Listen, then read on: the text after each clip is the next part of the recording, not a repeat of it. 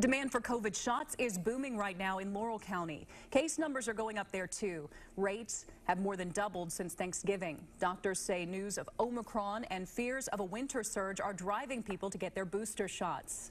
We're seeing a, a, high interest in booster shots. We are administering anywhere from 40 to 45 boosters per day here at the health department, and and we're still we're still in, um, administering some of the initial vaccines.